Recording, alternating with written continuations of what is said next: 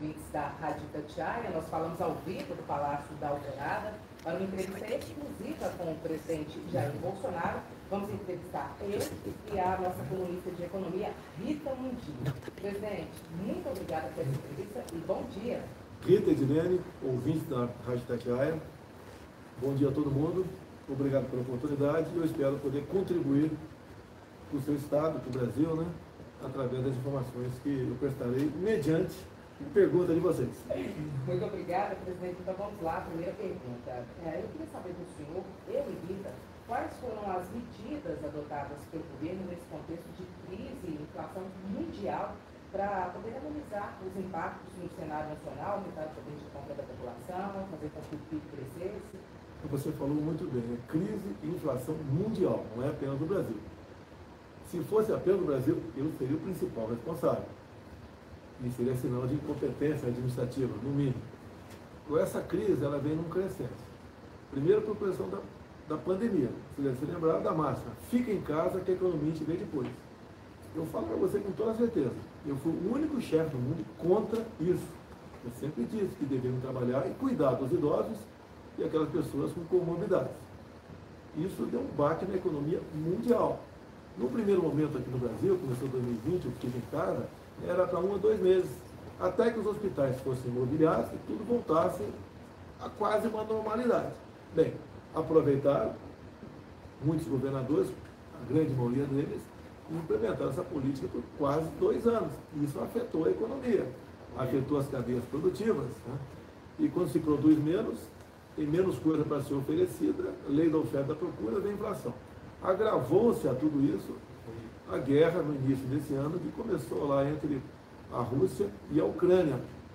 E afetou de forma mais forte ainda, porque a Rússia é uma grande produtora de petróleo. E mais ainda, a Ucrânia é um dos grandes países exportadores de alimentos. Então a crise está aí. Inflação nos combustíveis, inflação nos gêneros alimentícios. O que, que nós fizemos, né? Desde o ano passado, desde o ano retrasado, 2020, criamos dois programas, Rita você que é de economia, pode falar até melhor do que eu, o Pronamp e o BEM.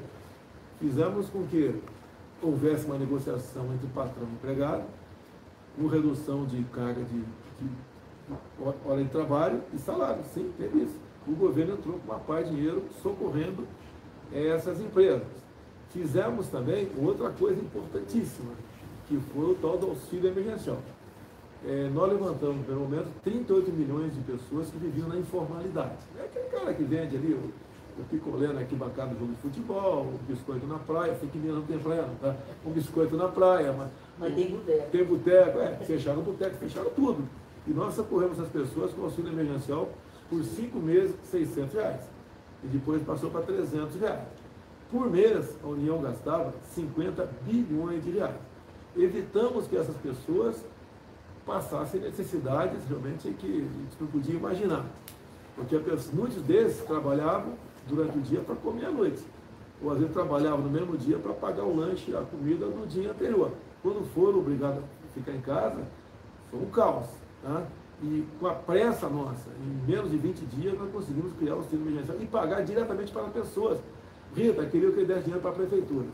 Lógico, não quero generalizar, mas ia ser uma festa por parte de muitos prefeitos, com toda certeza. Nós conseguimos dar o dinheiro diretamente ao interessado. E no, no final das contas, 68 milhões de pessoas receberam auxílio emergencial. E o gasto em 2020 com o auxílio emergencial foi equivalente a 15 anos de Bolsa Família. Mais do que ajudar essas pessoas a ter, sofrer necessidades básicas, né? Evitamos um caos social, crise, que elas podiam ir para a rua atrás de alimento e a gente não sabe o que podia acontecer salvou-se a economia também, quer dizer, movimentou a economia do Brasil. Então essas foram algumas medidas, né? os programas, Pronamp Bem, auxílio emergencial, que agora transformou-se em Auxílio Brasil. Você pode ver, nós temos, entre os anos 2020 e 2021, anos de crise, né? nós tivemos um saldo de quase 3 milhões de carteiras assinadas. Você pega 2014 2015, que não tinha pandemia não naquela época, o Brasil perdeu 2 milhões e 700 mil empregos Aí sim, incompetência administrativa. Então foi feito isso como? Dada a equipe de ministros que a gente tem. Presidente, eu queria encaixar uma pergunta nessa sua fala, porque eu estive aqui em 2019, dia 2 de dezembro, final do seu primeiro ano de governo, e porque eu fiz um comentário na Tatiaia, e o senhor me achou, né? Falando que eu estava falando a verdade. E a verdade que eu falava na época é que eu queria estar nascendo naquela época para presenciar essas mudanças estruturais da economia. E elas estão acontecendo e aconteceram apesar da pandemia e apesar da guerra. Mas isso foi meio que ofuscado pela pandemia e pela guerra. E a primeira pergunta naquela época que eu fiz ao senhor foi exatamente a mudança de foco e do papel dos bancos públicos. Então eu queria que o senhor falasse um pouco o que, que os bancos públicos fizeram nesses seus anos de governo, que é completamente diferente do que eles fizeram anteriormente. Você podia perguntar, a melhor pergunta é o que eles não fizeram. Né? Porque você pode ver, como era a indicação do presidente e diretores de Banco do Brasil, Caixa Econômica, BNDES, tudo indicação política. Isso deixou de existir. É, até o próprio Pedro Guimarães fala que no período recente, né, de comando de um partido com bandeira vermelha que tinha por aí, o endividamento da Caixa foi de 45 bilhões de reais. O endividamento do BNDES, com programas mais absurdos possíveis, entre eles empréstimo para ditaduras fora do Brasil, chegou na casa dos 400 bilhões de reais. Eu sei que não é banco, Petrobras. O endividamento da Petrobras em 14 anos daquele outro governo, se endividou em 900 bilhões de reais. Era a maior dívida do planeta. É, uma dívida do planeta. Inclusive, esse montante daria para você fazer 60 vezes a transposição do Rio São Francisco. Você pode ver o que aconteceu no passado e o que acontece agora. Você pega estatais como um todo. No passado dava prejuízo, agora dão lucro. Né? Essa diferença está na, tá na casa de 140 bilhões de reais. Você pega uma, uma, uma Itaipu Binacional, por exemplo. Você só tinha notícia dela como uma empresa que gerava energia. Agora você vê, tá, vai ser inaugurada esse ano a segunda ponte para o Paraguai. E não é uma ponte qualquer, é uma ponte de voo de 500 metros. Dinheiro, Itaipu Binacional. Já foi inaugurada a extensão de 600 metros na pista do aeroporto de Foz de Iguaçu. Ou seja, voos internacionais já posam lá. Então o turista que posa lá vai ocupar a rede hoteleira de Foz do Iguaçu e não do outro lado, né, na Argentina.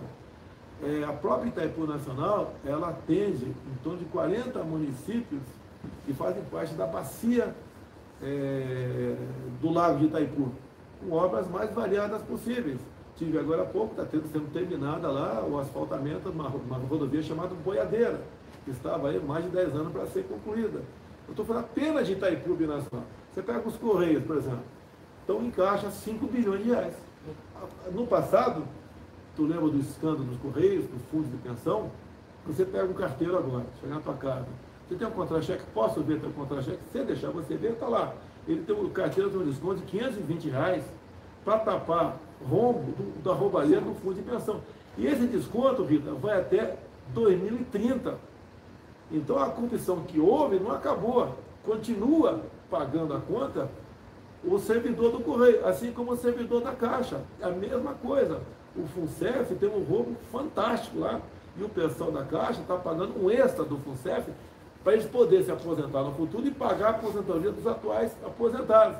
Esse é um pequeno retrato que acontecia no passado e no presente do Brasil. E eu sempre digo, pode haver coisa errada no governo? Pode. Se houver, estamos para colaborar, para investigar e punir os possíveis culpados. Porque nós temos é, seres humanos nos ministérios. Eu tenho na minha frente 23 ministros, mais de uma centena de secretários e mais de 20 mil comissionados.